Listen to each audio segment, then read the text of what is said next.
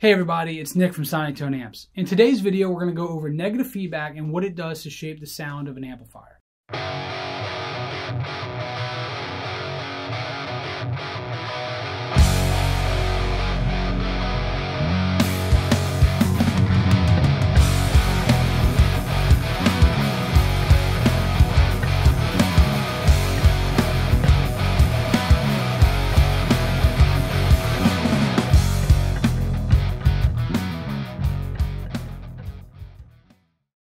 From a high level, broad sense, negative feedback is merely a tool in the toolbox to help us fine tune an amp towards the end of the line, usually around the power amp section of the circuit. What it does is if an amp is on the verge of instability, we can inject negative feedback to help calm the amp down, tighten it up. It extends and flattens the frequency response and makes it a smoother, more stable sounding amp.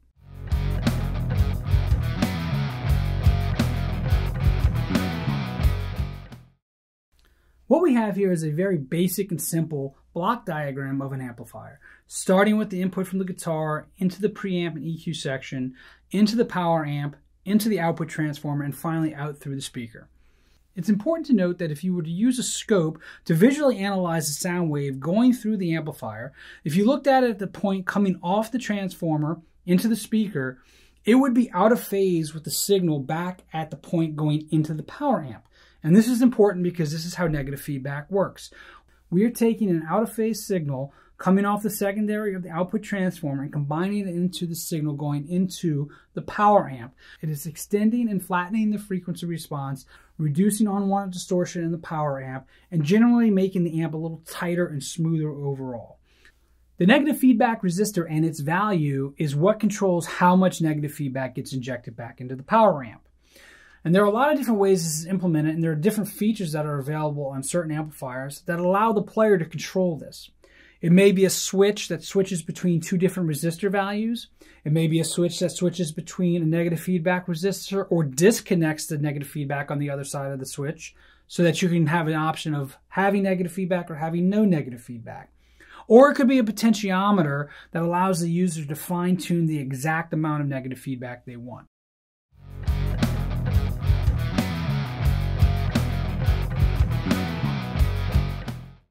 So here we are with the half pint again. It does have a negative feedback switch. All SonicTone amps that have a negative feedback switch, they're labeled punchy or smooth.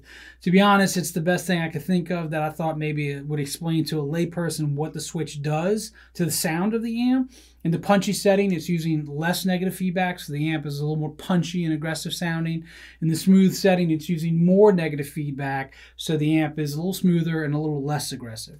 So anyway, we're going to do uh, a couple passes. passages here on clean line and on distortion, both each using uh, both settings, and we'll get to hopefully hear how it sounds in the video, and you can make a decision which one you like better.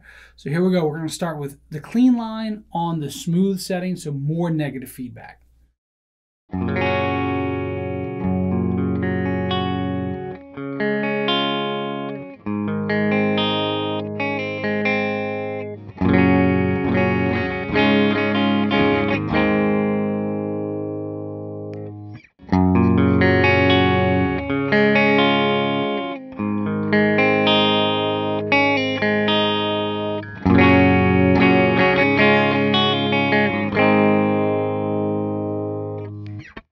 Right, so let's do the same thing on the distortion channel. We're going to start on the smooth setting on channel 2. Here we go.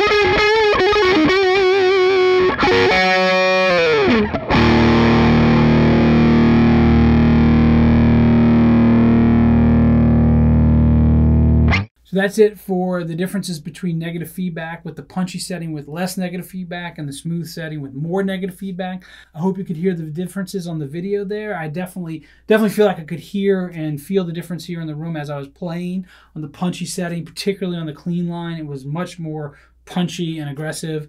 And then on the smooth setting, it was a little more well-rounded and slightly less aggressive. Uh, so there you have it.